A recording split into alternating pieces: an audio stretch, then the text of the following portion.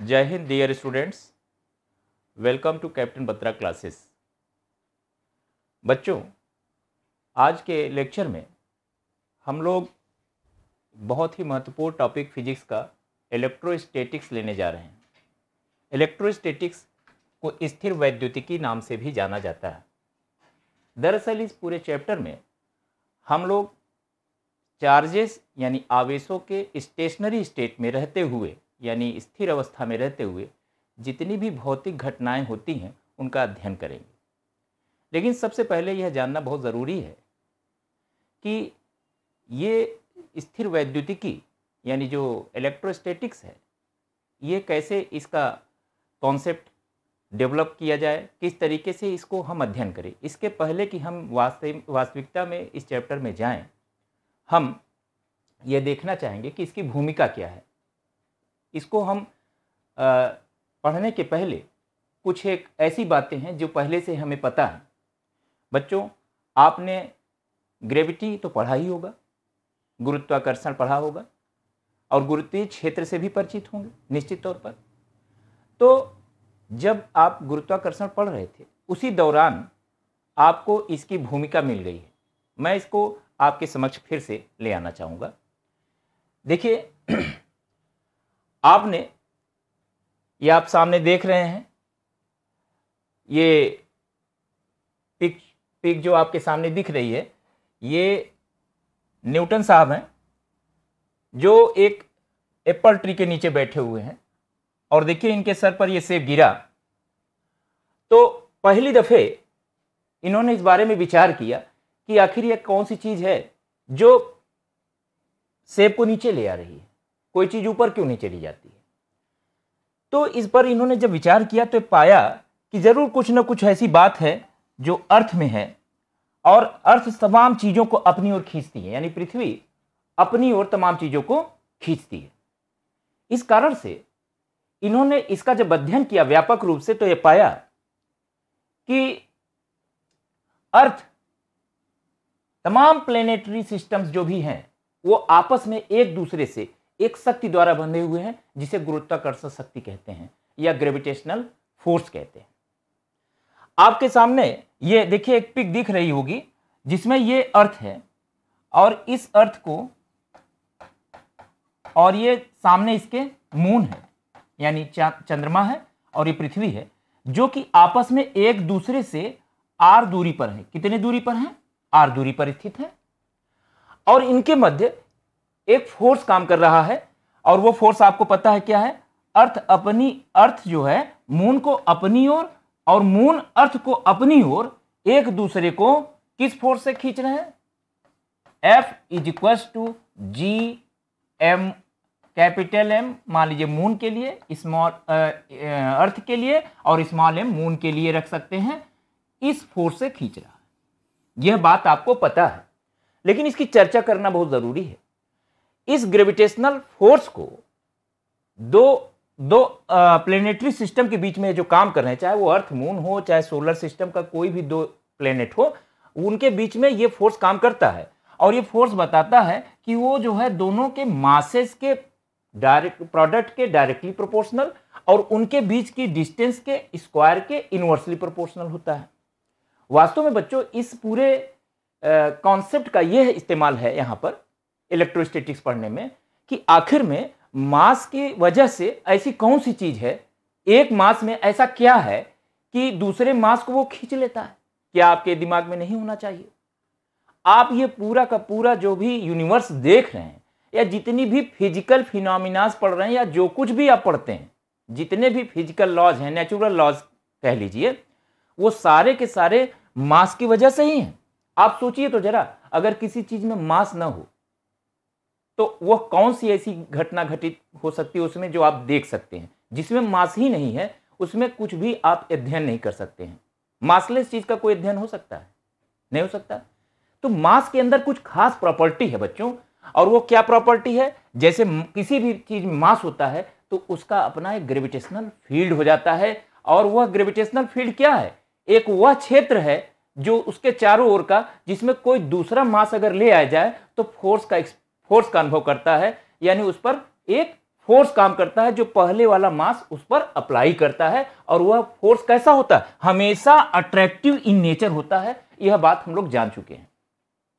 और एक लॉ जो हम लोगों ने स्टेब्लिश किया, जो न्यूटन साहब ने इस चीज़ को पाया, और वो ये पाया कि वो फोर्स एक्चुअली उन दोनों मासेज के प्रोडक्ट के डायरेक्टली प्रोपोर्शनल और उनके बीच की डिस्टेंस के स्क्वायर के इनवर्सली प्रोपोर्शनल है, जिसे हम लोग इनवर्स स्क्वायर ला भी कहते हैं। क्या कहते हैं? Inverse square law.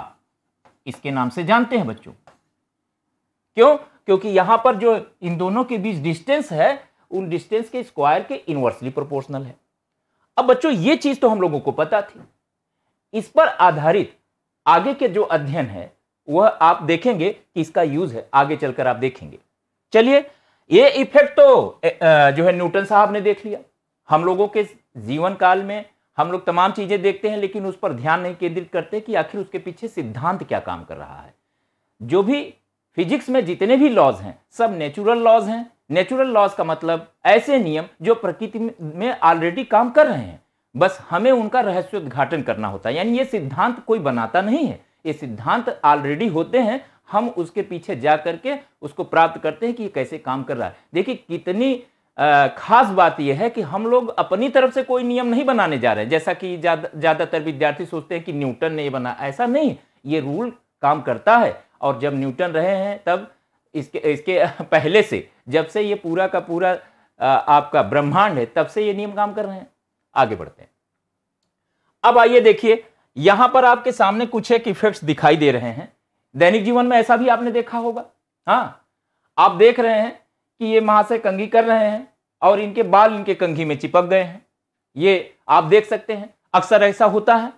हम्म यहाँ पर ये जो है एक बच्ची है, ये जो है गुब्बारा अपने सर पे ऊपर ले गई और ये देखिए बाल उससे चिपक गए।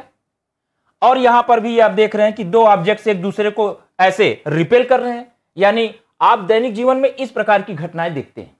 यह क्या बतलाती हैं? ज़रूर कुछ ना कुछ ऐसी बातें हैं जो दो वस्तुओं को आपस में या तो खींच लेती हैं या धकेल देती हैं। यहाँ देख सकते हैं, धक्का मिल रहा है और यहाँ पर जो है खिंचाव उत्पन्न हो रहा है।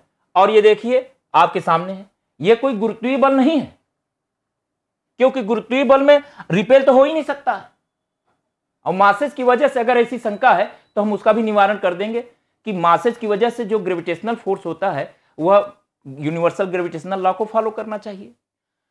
तो इस तरीके की जितनी भी घटनाएँ हैं, जो भी हम लोग देखते हैं एग्जाम्पल्स हम लोग कुछ देख लेते हैं इलेक्ट्रोस्टैटिक फोर्सेस जहाँ भी काम करते हैं, बच्चों डेली लाइफ में, आइए हम लोग कुछ उदाहरण से उसको समझने की कोशिश करते हैं। जैसे देखिए, ये प्लास्टिक है रॉड है, जो वूल से रगड़ी गई है। अब आप देख सकते हैं कि ये इसका परपेंडिकुलर है और ये दूसरी ग्लास रॉड है, जो कि सिल्क से रगड़ी गई है। जब ये इसको बच्चों इसकी ओर ले आया जाता है तो देखते हैं कि इसमें खिंचाव उत्पन्न हो जाता है एक दूसरे को खींचती है। तो यह घटना भी आप देख सकते हैं कि इस तरीके की होती है, और दैनिक जीवन में हम लोगों को देखने को मिलती है। हाँ अच्छा दूसरी बात देखिए। यहाँ आपने देखा होगा, हम लोगों के कॉमन लाइफ में एक्सपीरियंस करने को हम लोगों को मिलता है। ये आप बिजली का चमकना देख रहे हैं। बादल में जो है, जब कभी इस तरीके से घटनाएँ होती तो आवाज़ भी आती है और बिजली का, बिजली भी आती, रोशनी भी आती है। क्या कभी आपने सोचा है कि ये इस तरीके की बिजली क्यों उत्पन्न होती है? तो मैं आपको बताता हूँ बच्चों, जब दो बादल आपस में रगड़ खाते हैं, ठीक है? एक बादल जब ये ये बादल इसके ऊपर है और दूसरा बादल इसके नीचे है, जब एक दूसरे से रगड़ खाते हैं तो रगड़ खाते हैं तो ऊपर वाला जो इसका क्लाउड है, उसमें पॉजिटिव चार्ज और नीचे वाले क्लाउड में निगेटिव चार्ज उत्पन्न हो जाता है।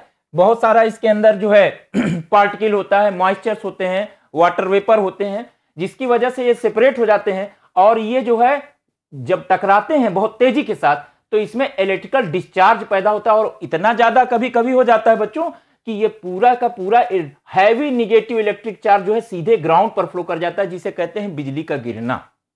ये भी घटना है, आपने देखी। तो सबसे पहले बच्चों, किसी भी विषय में जाने से पहले हम लोगों को यह समझ लेना चाहिए कि उसमें हमारे पास कुछ इफेक्ट्स होते हैं। जैसे ग्रेविटेशनल के फ़ील्ड के बारे में हम लोग बाद में चर्चा करते हैं। पहले हम लोग इफ़ेक्ट देखते हैं। हम लोग सभी लोग धरती पर कोई चीज़ देखिए, रखिए, ऊपर रख दीजिए। अगर जरा सा भी डिसबैलेंस हो, नीचे गिर जाएगी। कोई चीज़ ऊपर फेंकिए, नीचे आ जाएगी। ये सब पहले ही हो जाता है। लेकिन इसके कारण में जाएँगे तो पता चलेगा कि हमारे जो है अर्थ में ग्रेविटेशनल फोर्स है। जिसकी वजह से यह खींचता है, यह बाद में हम लोग अध्ययन करते हैं। तो इस प्रकार की घटनाएँ हैं, या और देख सकते हैं, एक अगला केस हम लोग ले लेते हैं एग्जाम्पल्स ऑफ़ इलेक्ट्रोस्टेटिक फोर्स में, जिसमें देखिए, आप ये कंघी है, बालों से रगड़ करके लीजिए, और छोटे छोटे कागज़ के टुकड़े आप ये देख सकते हैं, ये कंघी यहाँ पे ऊपर है, अभी नहीं खींच रही। जब ये नज़दीक लाओगे तभी खींचेगी तो उसके बाद इसमें खिंचाव का, खिंचाव उत्पन्न हो जाता है। ये भी हम लोगों के डेली लाइफ में होता है बच्चों। यानी सूखे बालों में कंघी घुमाने से वह आवेशित हो जाती है और इसके द्वारा कागज़ के छोटे छोटे टुकड़ों को आकर्षित कर किया जा सकता है। A comb moving through dry hair gets electrically charged it start attracting small bits of paper लेकिन बच्चों ये बात समझने की है कि आखिर ये घटनाएँ क्यों हो रही हैं? अब वही बात यहाँ पर भी आती है। जैसा आ, कि न्यूटन साहब ने देखा था कि आखिर सेब उनके सर पर गिरा तो उसका कारण क्या था? ग्रेविटेशनल फोर्स यही तो कारण था। तो इस प्रकार की घटनाओं में क्या कारण मौजूद हो सकता है? अब इसका हम लोग अध्ययन करने जा रहे हैं। We are going to study it लेकिन इस चीज़ को हम लोग अध्ययन करने के लिए सबसे पहले यह समझने की कोशिश करते हैं कि कोई भी हम लोग सब्सटेंस लेते हैं, कोई भी हम लोग जो पदार्थ लेते हैं, भाई है तो दो दो ऑब्जेक्ट के बीच में ही हो रहा है ये। चाहे ग्रेविटेशनल फोर्स काम कर रहा हो और चाहे इस तरीके के फोर्सेस काम कर रहे हो। होता तो दो मासेज के बीच में ही है। तो इन दोनों में क्या अंतर है और कौन सा ऐसा कारण है जो इस तरीके के फोर्स के लिए जिम्मेदार है? तो इसको अध्ययन करने के लिए बच्चों, हम लोग बहुत ही बेहतरीन तरीके से इस बात को समझते हैं। तो इसको जानते हैं कि कोई भी पदार्थ, कोई भी सब्सटेंस कैसे मिलकर बना होता है बच्चों? अगर कोई भी आप सब्सटेंस ले लीजिए तो वह सब्सटेंस यानी पदार्थ कैसे मिलकर किससे बनता है? वो बनता है बेटा तमाम मालिक्यूल्स होते हैं और हर मालिक्यूल में एटम होते हैं और एटम के अंदर क्या होते हैं बच्चों? एटम के अंदर होता है न्यूक्लियस और न्यूक्लियस के अंदर बच्चों होता है प्रोटॉन और न्यूक्लियस के अंदर होता है प्रोटॉन और न्यूट्रॉन देख सकते हैं प्रोटॉन है न्यूट्रॉन है। और इसके बाहर क्या होता है? इलेक्ट्रॉन ये बात तो सब जानते हैं ना इलेक्ट्रॉन चारों ओर चक्कर लगाते हैं। अब बच्चों, ये भी आप अच्छी तरह जानते होंगे कि प्रोटॉन न्यूट्रॉन और इलेक्ट्रॉन में मासेज भी होते हैं। होते कि नहीं? जो फंडामेंटल पार्टिकल्स हैं, उनमें इलेक्ट्रॉन प्रोटॉन और न्यूट्रॉन है, और इन सभी के मासेज भी होते हैं। और ये सब मासेज कैसे होते हैं बच्चों? इन सब मास इन सब का मास बहुत ही छोटा होता है। जैसे अगर मास ऑफ़ इलेक्ट्रॉन की बात करें तो ये मात्र है 9.8 point eight into ten to power minus thirty one K G it's very very small समझ लीजिए, एक के जी तो आप समझ ही रहे होंगे, और एक किलो का एक के आगे इकतीस ज़ीरो लगाकर डिवीज़न कर दिया जाए तो इतना छोटा मास ही मतलब आँखों से नहीं दिखाई देता। इलेक्ट्रॉन आप देख सकते हैं, प्रोटॉन आप देख सकते हैं, नहीं देख सकते ना? तो ये बहुत ही इनफाइनाइटेसमली स्मॉल बहुत ही छोटे हैं। अब mass of proton mass of neutron में केवल ऑर्डर देखिए, दस की घात माइनस यानी इसका दस गुना ज़्यादा है, लेकिन इसका टेन थाउज़ेंड टाइम ज़्यादा होने के बावजूद भी बहुत छोटा है। बच्चों, इनमें भी मासेज हैं यह बात तो तय है कि इनमें भी मासेज हैं और हम लोगों ने जाना है कि जब भी दो ऑब्जेक्ट्स में मास होता है तो अगर उनमें मास है तो निश्चित तौर पर उनके बीच में ग्रेविटेशनल फोर्स काम करेगा अगर वो एक दूसरे से इतना नज़दीक आए कि एक दूसरे की ग्रेविटेशनल फ़ील्ड में आ जाए। क्योंकि आप अर्थ में ही हैं, मान लीजिए अर्थ की बात कर लें तो अर्थ का ग्रेविटेशनल फ़ील्ड इनफाइनाइट थोड़े है। अर्थ का ग्रेविटेशनल फ़ील्ड जितनी दूर तक है, बस वहीं तक काम करेगा। आपने पढ़ा भी होगा स्केप वेलासिटी पढ़ा है कि नहीं पढ़ा? इसके वेलासिटी से अगर किसी भी पार्टिकल को फेंक दिया जाए तो ये अर्थ की ग्रेविटेशनल फ़ील्ड से बाहर चली जाएगी। और जब किसी के ग्रेविटेशनल फ़ील्ड से कोई ऑब्जेक्ट बाहर चला जाएगा तो वहाँ पे ग्रेविटेशनल पुल काम नहीं करेगा। इसी प्रकार से इलेक्ट्रोस्टैटिक फोर्सेज में भी हर पार्टिकल का अपना एक फ़ील्ड होगा। तो हम लोग अध्ययन करने जा रहे हैं। बच्चों, जो अभी अभी हम लोगों ने पढ़ा था, वो क्या था? यूनिवर्सल ग्रेविटेशनल फोर्स या यूनिवर्सल ग्रेविटेशनल लॉ कह लीजिए। यहाँ पर आपके सामने वही चीज़ लिखी हुई है। मैं यहाँ पर इसको इसलिए डिस्कस कर रहा हूँ बच्चों कि हम अध्ययन करना चाहते हैं cause of extra force between fundamental particles other than gravitational force हम लोगों का अध्ययन वस्तु यह है कि जो ये फंडामेंटल पार्टिकल है प्रोटॉन है न्यूट्रॉन है इलेक्ट्रॉन है, इनके बीच में ग्रेविटेशनल फोर्स तो काम कर रहेगा ही लेकिन कुछ एक्स्ट्रा फोर्स भी काम करता है। और उसी के कारण हम लोगों को यह चार्ज का कॉन्सेप्ट मिलता है। अब मैं इसके बारे में यहाँ बताने जा रहा हूँ कि देखिए, ये फोर्स तो दो मासेज के बीच में काम करता है, जैसा कि आपके सामने यहाँ दिखाई दे रहा है, हैं? लेकिन अगर मैं दो प्रोटॉन की बात करूँ या दो इलेक्ट्रॉन की बात करूँ, जैसे उदाहरण के लिए हम लोग अगर एक इलेक्ट्रॉन लें और दूसरा इलेक्ट्रॉन इससे वन सेंटीमीटर की दूरी पर रख दें तो चूँकि इलेक्ट्रॉन में मास होता है तो अगर इलेक्ट्रॉन में मास है तो एक दूसरे को वह universal force universal gravitational law के जो फोर्स का जो है, जो वैल्यू है, उसमें अगर रखें या physicals to G M one M two upon R square तो mass of electron nine point one into ten to power minus thirty one है।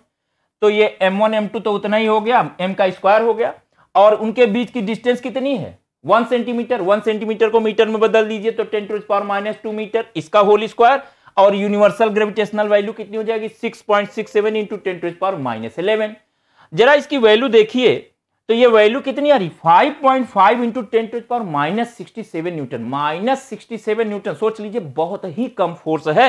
यानी एक इलेक्ट्रॉन बच्चों, एक इलेक्ट्रॉन दूसरे इलेक्ट्रॉन को, एक इलेक्ट्रॉन दूसरे इलेक्ट्रॉन को खींच सकता है, और बल्कि खींचता है, और वह कितना फोर्स होता है? 5.5 point five into ten to power minus sixty seven newton से खींचता है। और यह कौन सा फोर्स है? ग्रेविटेशनल फोर्स है।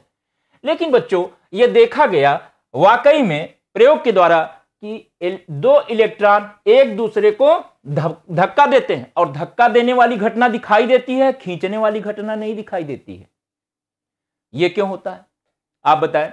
यानी फ़िज़िकल जब एक, इसका वो किया गया प्रैक्टिकल इसको किया गया तो देखा गया कि दो इलेक्ट्रॉन वाकई में दूसरे को धक्का दे रहे होते हैं। खिंचाव तो होता ही है वो तो ग्रेविटेशनल फोर्स का कॉन्सेप्ट है लेकिन ये एक दूसरे को धक्का दे रहे होते हैं। अब आप मुझे बताइए क्या ये ग्रेविटेशनल फोर्स हो सकता है? क्या ग्रेविटेशनल फोर्स कभी भी दो मासेज में ऐसे भी हो सकते हैं जो एक दूसरे को धक्का दे दें? नहीं हो सकता ना क्योंकि ग्रेविटेशनल फोर्स हमेशा कैसा होता है? अट्रैक्टिव होता है। तो ऐसा क्यों? क्यों एक दूसरे को रिपेल कर रहे हैं? निश्चित तौर पर ये ग्रेविटेशनल फोर्स नहीं हो सकते। और ये देखा गया बच्चों कि अगर एक ही सेंटीमीटर पर एक इलेक्ट्रॉन दूसरे इलेक्ट्रॉन को सेपरेट करके रख दिया जाए तो ये एक दूसरे को 2.3 point three into ten power minus twenty यानी अब की जो फोर्स काम कर रहा है, वो है 2.3 point three into ten power minus twenty newton और जबकि पहले वाला था टेन की power minus sixty seven newton five point five into ten to power minus. अब आप सोच लीजिए कि ग्रेविटेशनल फोर्स जो है, ये कितना कम है? बहुत कम है। और ये रिपल्सिव फोर्स बहुत ज़्यादा है, उन्हीं इलेक्ट्रॉन्स के बीच में। तो आप भी जानते हैं नेट फोर्स किधर काम करेगा? अगर दो व्यक्ति एक दूसरे को मान लो खींच भी रहे हो, और धक्का उनको, उनके ऊपर लग रहा हो, और धक्का ज़्यादा लग रहा हो, एक दूसरे को ढकेलने वाला, और खिंचाव कम हो तो कौन सा प्रभावी होगा? धक्के वाला। इसलिए दिखाई क्या देता है? इनके बीच में रिपल्सन। रिपल्सन में यह बात बिल्कुल स्पष्ट हो गया कि प्रतिकर्षण बल है, यह एक्स्ट्रा फोर्स है। और यह एक्स्ट्रा फोर्स किस कारण से है, यह बात समझना है। यहाँ इसी बात को समझना है कि जैसे ग्रेविटेशनल पुल काम कर रहा है हाँ वैसे ही इस तरीके का जो फोर्स है वह भी काम कर रहा है। यह जो एक्स्ट्रा फोर्स है, इसी को हम लोग इलेक्ट्रिक फोर्स कहते हैं। यानी कहने का मतलब this extra force is called as electric force यही इलेक्ट्रिक फोर्स है। ध्यान दीजिए टर्म इसी को हम लोग वैद्युत बल कहते हैं। ठीक? और वैद्युत बल अगर दो पिंड में काम कर रहे हो तो कंफर्म है कि उनमें अगर अट्रैक्शन है तो आप डाउट कर सकते हैं। लेकिन रिपल्सन है हंड्रेड परसेंट वह दो मासेज के बीच में अगर रिपल्सिव फोर्स काम कर रहा हो बच्चों तो निश्चित तौर पर आपका इलेक्ट्रिक फोर्स होगा। अब विषय यह आता है कि यह इलेक्ट्रिक फोर्स बहुत ज़्यादा है ग्रेविटेशनल फोर्स की तुलना में और खास बात क्या हम लोगों को समझनी चाहिए कि आखिर यह पैदा कहाँ से हुआ? तो इन दोनों के मध्य जो ये इलेक्ट्रिक फोर्स है निश्चित तौर पर उन इलेक्ट्रॉन्स में कुछ अतिरिक्त गुण होंगे जिसकी वजह से पैदा हुए होंगे। मास की वजह से तो नहीं हो सकता। मतलब मास की वजह से हो, नहीं होने का मतलब केवल मास की वजह से अगर आप सोच रहे हैं तब तो केवल ग्रेविटेशनल फोर्स ही सोच सकते हैं। मास के तो है ही, मास तो रहेगा ही, बिना मास के तो कुछ नहीं हो सकता। अगर मास नहीं तो कुछ भी नहीं। लेकिन मास के अलावा कुछ ऐसी बात होनी चाहिए जो इस पुल, जो इस फोर्स के लिए जिम्मेदार हो। और वही कारण जिसकी वजह से ये होता है उसी को हम लोग चार्ज कहते हैं। यानी चार्ज क्या है बच्चों? चार्ज क्या है? आवेश क्या है? अपने दिमाग में बैठा लीजिए।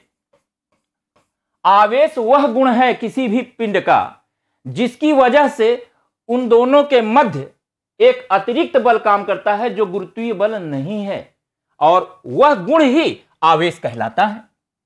यानी charge is the fundamental property of any body having certain mass due to which electrical forces are applied इसलिए हर मास में ही एक गुण हो सकता है। अगर किसी भी चार्ज की बात आप करते हैं तो चार्ज मास की प्रॉपर्टी है। निश्चित तौर पर चार्ज होने के लिए मास होना ज़रूरी है।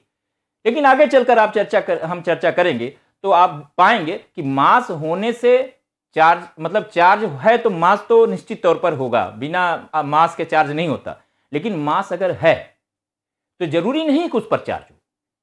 तो इस बारे में हम लोग आगे चर्चा कर लेंगे। तो इस कारण से ये हम लोगों ने पढ़ा। यही बात अगर हम प्रोटॉन के बीच में भी देखें बच्चों तो दो प्रोटॉन के बीच में भी अगर देखें तो उनके बीच में भी रिपल्सन है। ये रिपल्सन निश्चित तौर पर हम लोगों ने पाया कि अगर दो प्रोटॉन को भी एक ही सेंटीमीटर की दूरी पर रखा जाए तो उनके बीच में भी उतना ही बल काम कर रहा है। आप देखिए, अब अगर आप ग्रेविटेशनल फोर्स की बात करें बच्चों तो इसका मास बताओ ज़्यादा है कि नहीं? Mass of mass of proton अगर आप लेते हो, एक मास ऑफ़ प्रोटॉन और ये mass of proton mass of proton is greater than mass of electron की नहीं? बताइए।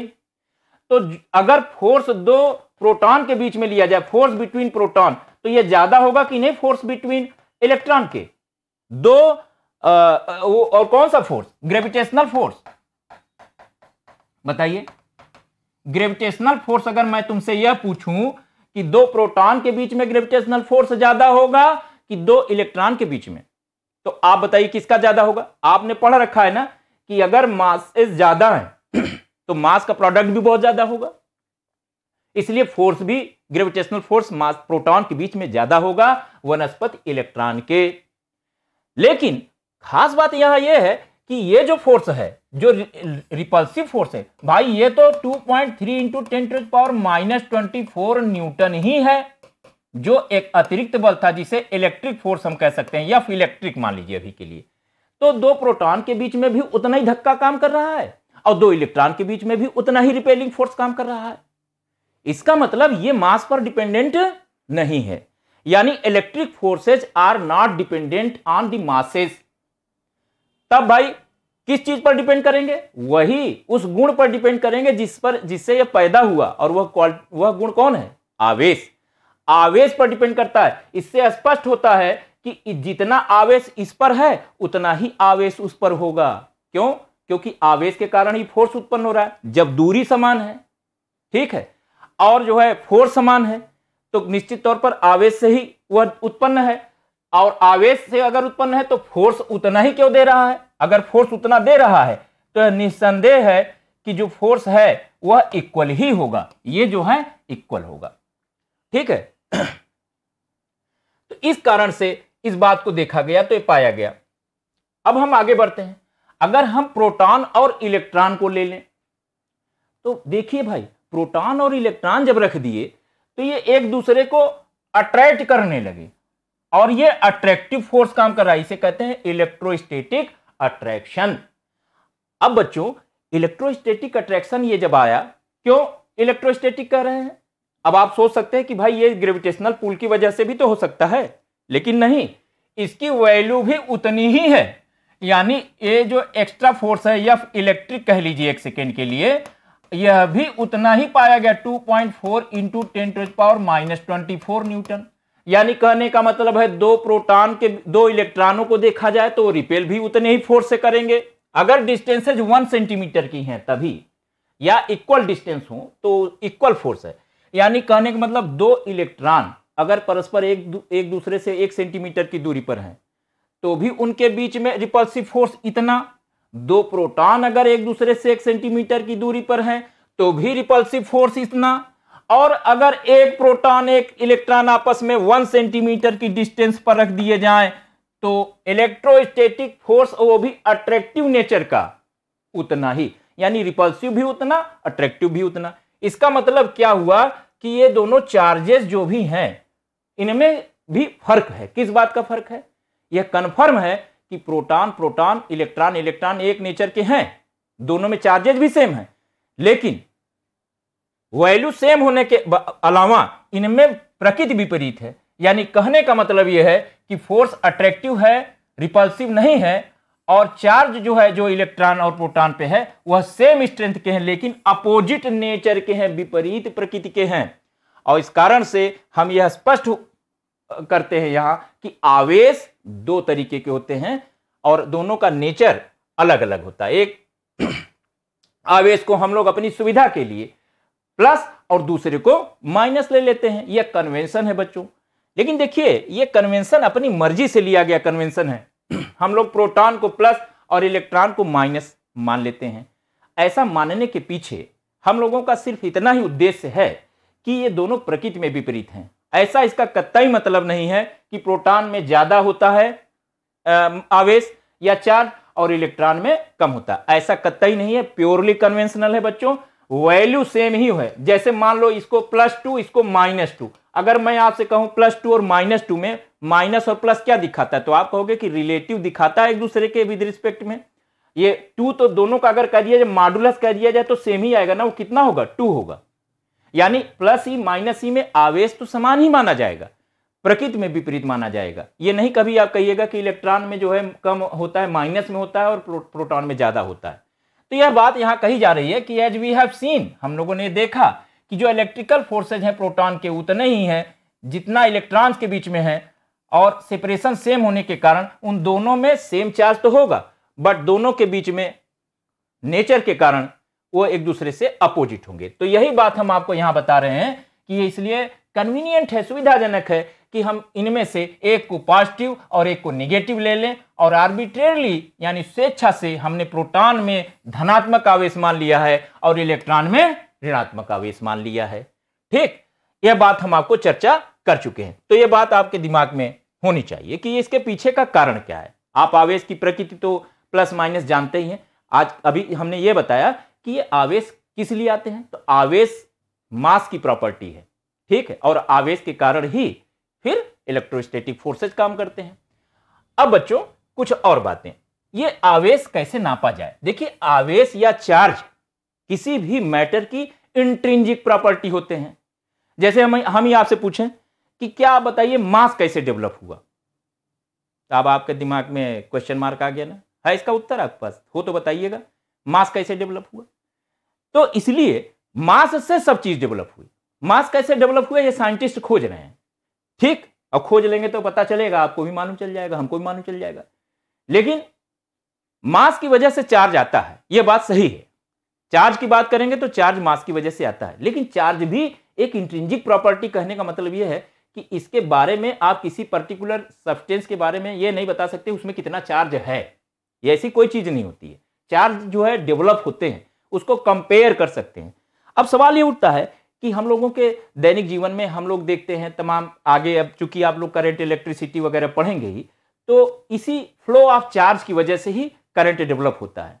तो बेसिक बात आपको तो पता ही होगी कि जब किसी भी धारावाही तार यानी कहने का मतलब क्या है कि करंट कैरिंग कंडक्टर में जब चार्ज फ्लो करता है, उसी को करंट कहते हैं बच्चों। और चार्ज क्या होता है? Charge is to current into time या कह लीजिए current is to rate of flow of charge यानी I is to Q by T ये भी कहते हैं आप। ठीक है? इस आधार पर अगर किसी भी देखिए कंडक्टर में चार्ज फ्लो करे, ठीक? और ये फ्लो कर रहे हैं एक रेट से तो किसी पर्टिकुलर क्रॉस सेक्शनल एरिया से जितने चार्ज फ्लो कर जाते हैं विद इन अ सेकेंड वही हमारा जो है करंट होता है। इसी आधार पर अगर चार्ज को देखा जाए तो इट्स करंट इनटू टाइम अब बच्चों अगर इसका डायमेंशनल फार्मूला देखें तो ये तीनों फंडामेंटल क्वांटिटी है। तीनों मूल राशियाँ हैं कि नहीं है? भाई, आवेश, धारा एवं समय। तो इसका फंडामेंटल डायमेंशनल फार्मूला ये होगा, Q is equal to eighty होगा कि नहीं होगा? अगर हमसे कोई पूछे कि इसका जो है, हम कैसे मेजर करें चार्ज को तो चार्ज को मेजर करने के लिए हम ये कहते हैं कि अगर इसके अंदर हम लोग एक एम्पियर की करंट कितने एम्पियर की करंट एक एम्पियर की करेंट एक सेकेंड तक फ्लो करा दें तो इसका मल्टीपल कितना हो जाएगा? One into one is one one ampere second. हो जाएगा? इसका यूनिट है। और यही वन एम्पियर सेकेंड, यह क्यू की वैल्यू हो जाएगी। तो क्यू कितना हो जाएगा? एक एम्पियर इंटू सेकेंड और इसी को हम कहेंगे वन कूलाम क्या कहेंगे? वन कूलाम तो बच्चों, यहाँ पर यही बताया गया कि एक कूलाम वह आवेश है, आवेश की वह मात्रा है जो किसी भी वायर में एक सेकेंड में फ्लो कर जाती है, यदि उसके अंदर करंट बहने वाली जो धारा है वन एम्पियर की हो, और इसी कारण से one coulomb one ampere into one second कहलाता है। इसके अलावा इसकी छोटी यूनिट भी है। जैसे मान लो सीजीएस सिस्टम में अगर हम बात करें तो सीजीएस सिस्टम में ये आपका वन कूलाम होता है three into ten to power nine stat coulomb इसे सीजीएस सिस्टम में स्टैट कूलाम भी कहते हैं। देखिए, आप अगर यूनिट बदल देंगे ठीक है? तो मेज़रमेंट की वैल्यू बदल जाएगी। ये बात आप जानते हैं तो इसको आप ध्यान रखेंगे। अब हम लोग इसके आगे बढ़ते हैं। देखिए, अब बात यह आती है कि जो आवेश है, अगर दो वस्तुओं में आवेश का आदान प्रदान होता है, आपने देखा कि दो वस्तुओं में आवेश एक दूसरे से ट्रांसफ़र हो सकते हैं। यह आपने देखा? तो अगर जो है आवेश, यानी जिसे कहते हैं हम लोग कि अगर इनके बीच में आवेश का आदान प्रदान हो तो ये एक बात जान लें कि जब एक पर्टिकुलर ऑब्जेक्ट से दूसरे ऑब्जेक्ट में हम लोग देखते हैं कि इलेक्ट्रॉन का ट्रांसफ़र होता है तो इलेक्ट्रॉन की संख्या हमेशा, आप बताओ बच्चों, एक इलेक्ट्रॉन दो इलेक्ट्रॉन तीन इलेक्ट्रॉन चार इलेक्ट्रॉन ऐसे ही फ्लो करेगा कि डेढ़ इलेक्ट्रॉन ढाई इलेक्ट्रॉन साढ़े तीन इलेक्ट्रॉन जाएगा। इलेक्ट्रॉन तो एक फिक्स क्वांटिटी है ना यानी कहने का मतलब है डिस्क्रीट नंबर है ना, जिसे हम लोग संख्या में गिनेंगे। जितने इलेक्ट्रॉन ट्रांसफ़र होते हैं, उतना ही दूसरे वाले एटम पर या दूसरे वाले सब्सटेंस पर, उतना ही ऋणात्मक आवेश, और जितने इलेक्ट्रॉन पहले से जाते हैं, उतना ही धनात्मक आवेश आ जाता है। यह बात आपको मालूम होनी चाहिए, इसीलिए कहा, इसी को कहते हैं चार्जेस क्वांटाइज जब एक भौतिक भौतिक राशि में जो भी मान है डिस्क्रीट है, यानी काउंट करने वाले हैं, और काउंटिंग नंबर्स में ही वह वैल्यू ग्रहण करे तो उसी को क्वांटाइज बोलते हैं बच्चों। समझ गए कि नहीं? जैसे आप अगर मान लीजिए आम खरीदने जा रहे हैं तो आम कितना ले आएँगे? एक आम, दो आम, तीन आम, चार आम, साढ़े चार आम तो नहीं ले आएँगे ना? अगर 4.5 हो गया तो यह क्वांटाइज नहीं कहा गया है। क्वांटाइज वही है जो इंटीग्रल मल्टीपल है। इस कारण से ई e के जितने भी इंटीग्रल मल्टीपल हैं, यानी ए ई e का मतलब आवेश एक है ई e. ई का मान है 1.6 point six into ten to power minus nineteen coulomb अगर इसका इंटीग्रल मल्टीपल यानी two e three e four e five e n e हाँ माइनस में है। अगर किसी को मिला है तो माइनस में, किसी ने दिया है तो प्लस में। यही काउंट होगा ना। तो यहाँ पर यह दिखाया गया, जैसे ये बॉल्स का एक सीरीज़ दिखा दिया गया है इस प्रकार से बच्चों, कि एक बॉल दो बॉल तीन बॉल चार बार इस तरीके से ए, ऐसे ही इलेक्ट्रॉन मान लिया जाए इसको। तो हम अगर हम किसी को देंगे तो ऐसे ही ट्रांसफ़र करेंगे। इसी को कहते हैं charge is quantizing that means when a charge is given to any other body then it is in integral multiples अब देखिए ये कूलम साहब हैं, ठीक है? Augustin Coulomb. इन्होंने क्या काम किया? जैसे न्यूटन साहब ने ग्रेविटी की खोज की और उन्होंने पाया कि दो मासेज के बीच में जो ग्रेविटेशनल फोर्स काम करता है, उन दोनों मासेज के प्रोडक्ट के प्रोपोर्शनल तथा उनके बीच की डिस्टेंस के स्क्वायर के इनवर्सली प्रोपोर्शनल है, उसी प्रकार से प्रकार से इन साहब ने ये जो तमाम घटनाएँ हो रही थी हाँ वैद्युत बल जो लग रहे थे, उनके मान की गणना करने के लिए एक इन्होंने अपना एक इलेक्ट्रोस्कोप बनाया था। बच्चों, एक टार्सन टेबल टाइप का बनाया था, जो इनका एक्चुअल प्रयोग था, वो उसी पर आधारित था। और उसमें इन्होंने ये प्रयोग किया तो पाया कि अगर दो स्टेशनरी चार्जेज यानी Q1 और Q2 दो स्टेशनरी चार्जेज एक Q1 और Q2 को आपस में R डिस्टेंस पर रख दिया जाए। कितनी दूरी पर रख दिया जाए? R दूरी पर रख दिया जाए। तो यह पाया गया कि यह बल जो है अट्रैक्शन भी हो सकता है रिपल्सन भी हो सकता है। ध्यान दीजिएगा ग्रेविटेशनल फोर्स केवल अट्रैक्शन अट्रैक्टिव होता है, लेकिन इलेक्ट्रोस्टेटिक फोर्स अट्रैक्टिव और रिपल्सिव दोनों नेचर के हो सकते हैं। और इनके बीच का जो बल है, यह कैसे काम करता है? यह बल उन दोनों के आवेशों के परिमाण के गुणनफल के अनुक्रमानुपाती, यानी F is proportional to Q one into Q two और उनके बीच के दूरी के वर्ग के व्युतक्रमानुपाती होता है और इन दोनों को कंबाइन कर दीजिए तो यह रूल बन गया। क्या यह नियम? आप बताएँ बच्चों, क्या यह नियम जो आप अभी पढ़ रहे हैं, क्या यह नियम आपने अभी, देखिए इसके पहले यह इसमें पाया था, जो ग्रेविटेशनल फोर्स का जो काम है, वह देखिए, क्या यह नियम इसी प्रकार का नहीं है? यानी यह इनवर्स स्क्वायर ला नहीं है। अगर मैं यहाँ पर Q1 यहाँ पर Q2 कर दूँ अगर इस पर आवेश Q1 कर दूँ, इस पर आवेश Q2 कर दूँ, बच्चों, इनकी दूरी को R से रिप्लेस कर दूँ क्या यही फार्मूला जो आपका है? बस जो यूनिवर्सल ग्रेविटेशनल कांस्टेंट G है, वहाँ पर इलेक्ट्रोस्टेटिक कांस्टेंट के लग जाएगा, यानी one Q two upon R square जैसा नहीं हो गया। अब आपको समझ में आ गया कि यह नियम और आपका इलेक्ट्रोस्टेटिक फोर्स का नियम देखने में एक जैसा है, काम करने में एक जैसा है। फ़र्क यह है कि इलेक्ट्रोस्टेटिक फोर्सेस दो चार्जेस के बीच में काम करते हैं। जबकि ग्रेविटेशनल फोर्स दो मासेस के बीच में काम करता है। नियम एक ही तरीके का होता है और इस कारण से कभी अगर एग्ज़ाम में आपको यह पूछ लिया जाए कि जो यूनिवर्सल जो आपका कूलम का नियम है, वह किस नियम पर का एनालॉगी है या किस नियम के समतुल्य है तो आप सीधे बोलेंगे कि यह नियम यूनिवर्सल ग्रेविटेशनल फोर्स के समतुल्य है बच्चों। और इस कारण से इसका नियम इस तरह से काम करता है। अब यह विषय आता है कि यह जो के है, वह क्या है? तो के के लिए जो है एक्सपेरिमेंटल वेरिफिकेशन किया गया और यह पाया गया कि जो के का मान है वन अपान फोर पाई एफसलान नाट होता है, जिसकी वैल्यू होती है nine into ten to power nine ठीक है? और इसका यूनिट होता है newton metre square upon coulomb square कैसे निकाल सकते हैं?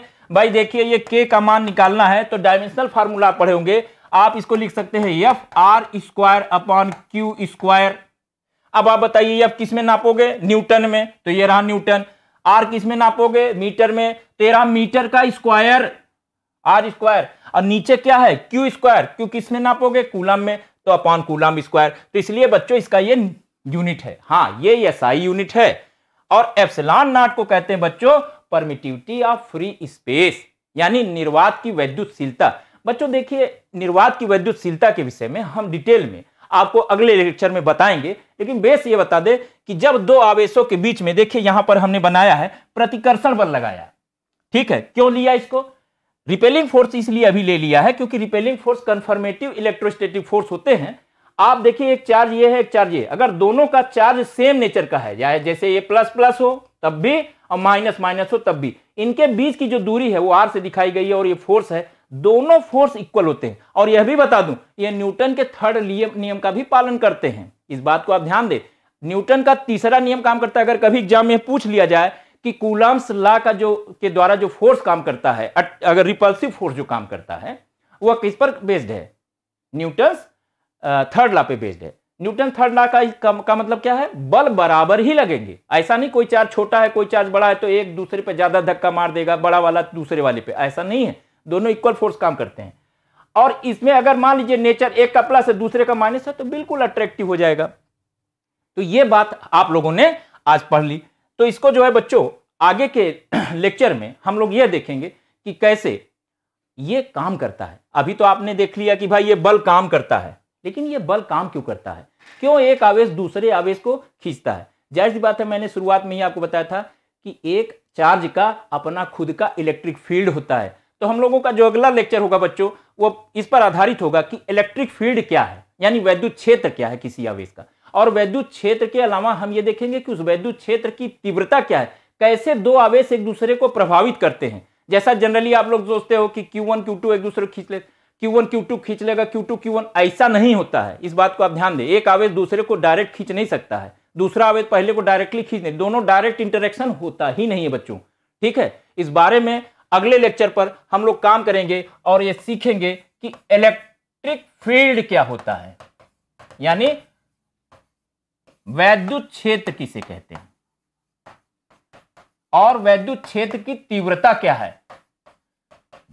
और इसी को कैलकुलेट करेंगे वैद्युत विभव क्या है, यानी इलेक्ट्रिक पोटेंशियल क्या है, तमाम चीज़ें आप लोगों से चर्चा करेंगे और आवेश के वितरण के बारे में भी बात करेंगे। जय हिंद।